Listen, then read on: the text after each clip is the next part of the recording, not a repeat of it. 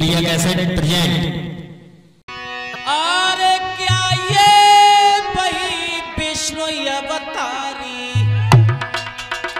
अरे बल के द्वारे पे आए। और तीन कदम पृथ्वी नापन को हर ने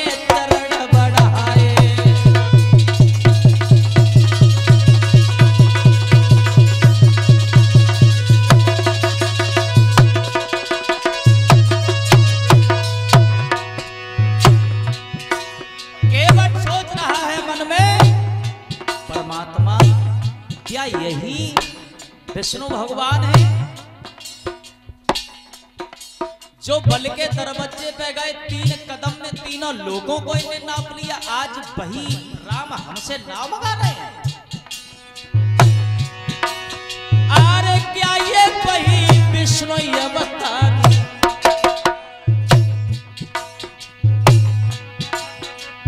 बल के द्वारे आए। तीन कदम पृथ्वी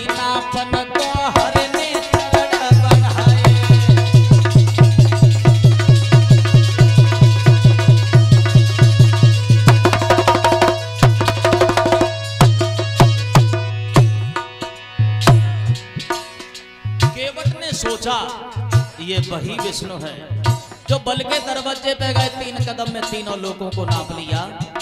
लेकिन आरती कदम इन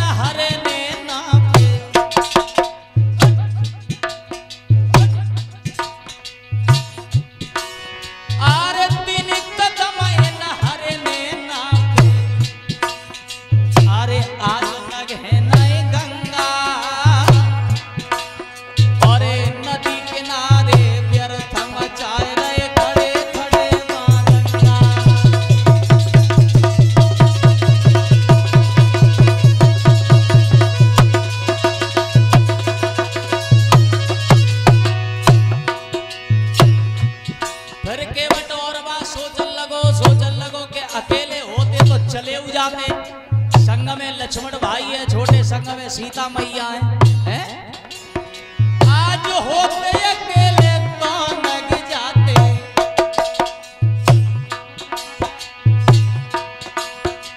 पर संग में सीता नारी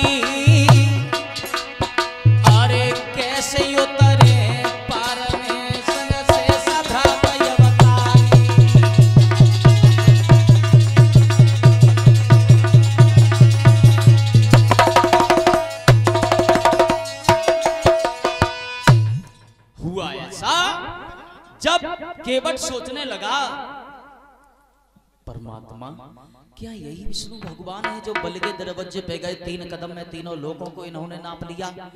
और ये चाहे तो लांग जाते गंगा जी को, लेकिन नहीं, अकेले होते तो नहीं। केवट सोच रहा है, कह कुछ नहीं रहा है भगवान श्री राम लक्ष्मण से। फिर जसोची के लक्ष्मण हैं साथ में, अकेले होते तो नगी जाते। फिर एक बात दूसरी जसोची के सीता को कहा अरे सीता को गोदी ले लेते।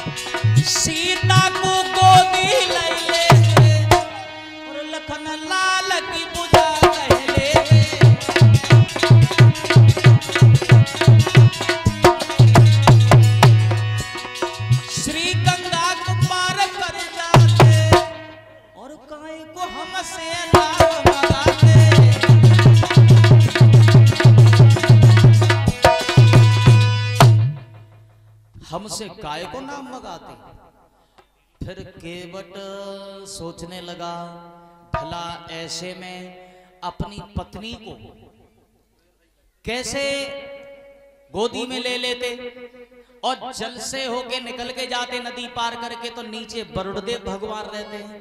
ऊपर सूर्य देव हैं जो साके में बाबा लगते हैं। भला ऐसे में अपनी पत्नी की लोकलाज कौन त्याग देगा? केवट जब इस तरीका से मन में बार बार सोच रहा है, काफ़ी विचार आ रहे हैं, लेकिन जिस नाव के ऊपर चढ़ने के लिए, जाने के लिए तैयार है, लेकिन ये नाव क्या थी? नाव। नाव का भी उद्धार होना था।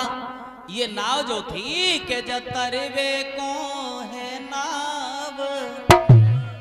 हो नाव। अरे जो चित्र के तो गंधर्व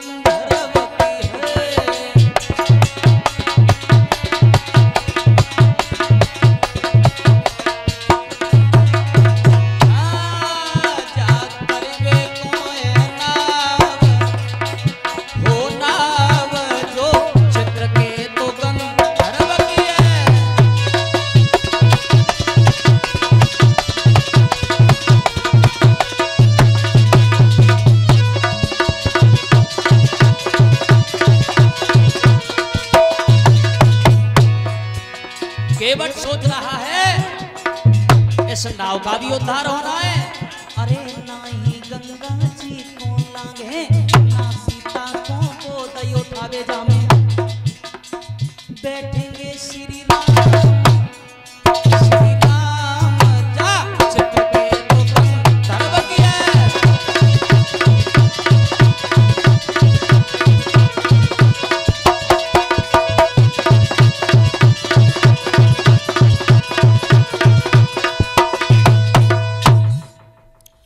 नाव जो थी,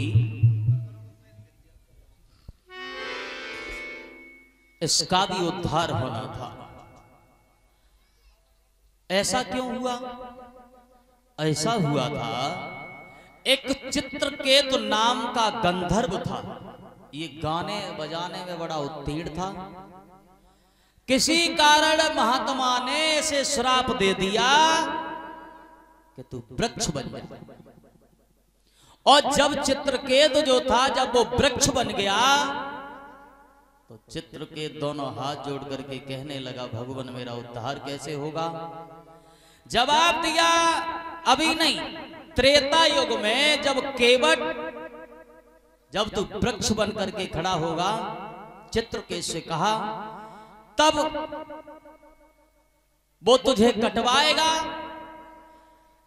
वो नाव बनवाएगा जिसके ऊपर भगवान श्री राम जब निकल करके जाएँगे, तब तेरा उद्धार होगा। बताया था। ये वरदान जब दिया है, कहा चित्रकेत अरे त्रेता युग में केवट तेरे और वृक्ष को कटाई है?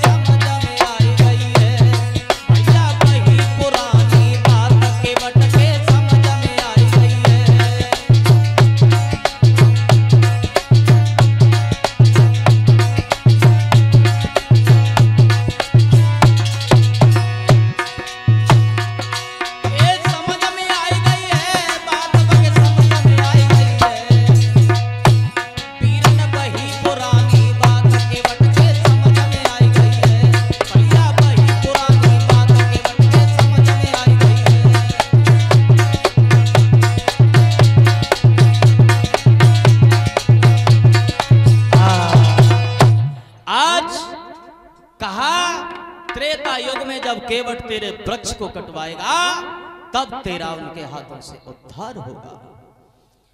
अब भगवान राम कहने लगे, भैया केवट, ए केवट, कहा खो गए ओ इधर देखो।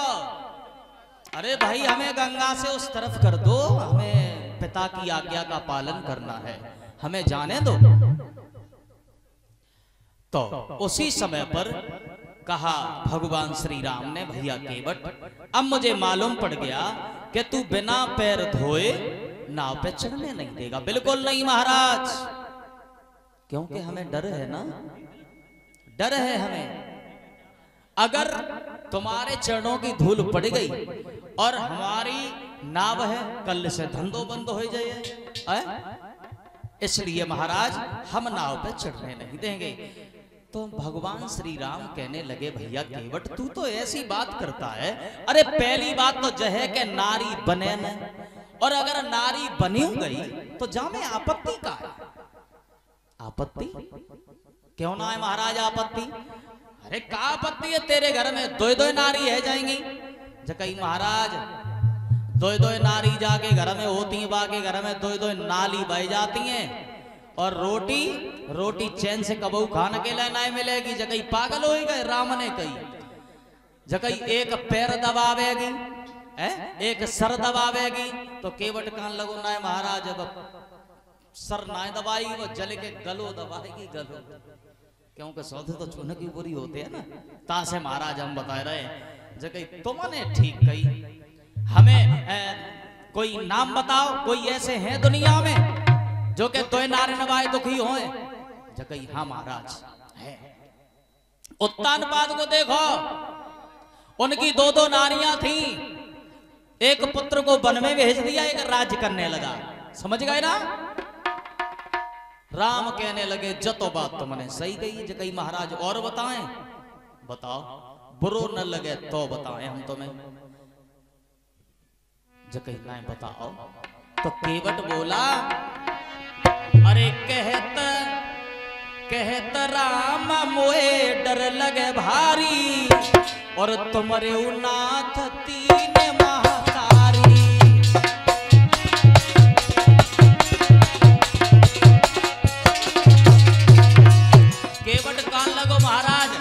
तुम्हें अगर बुरो न लगे तो हम तुम्हें कह रहे वैसे हमारे कहवे की तो कोई इच्छा नहीं है।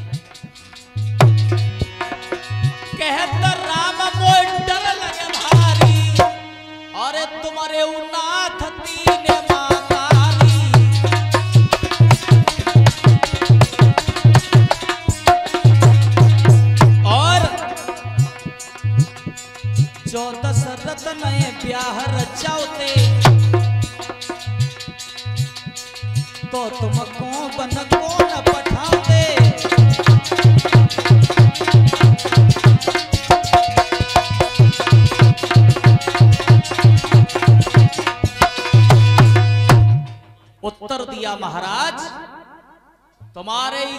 सोतिया डाहर परो हुए। अगर ऐसी बात नहीं होती तो तुम बन बन जा में